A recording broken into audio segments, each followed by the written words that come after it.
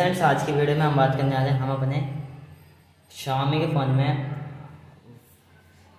Bluetooth headphone को disconnect कैसे कर सकते हैं? तो वीडियो शुरू करने से पहले आप हमारी वीडियो को लाइक करें और चैनल को सब्सक्राइब कर दें और बेल आइकन को दबाना ना भूलें।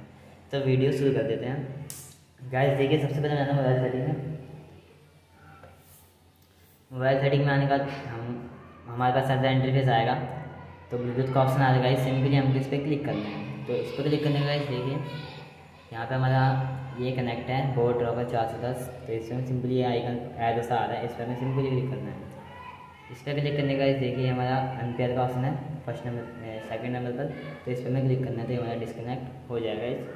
अगर दोबारा कनेक्ट करना है तो आप इस पर फिर से वैसे ही क्लिक कर देंगे तो हमारा दोबारा कनेक्ट हो जाएगा इस।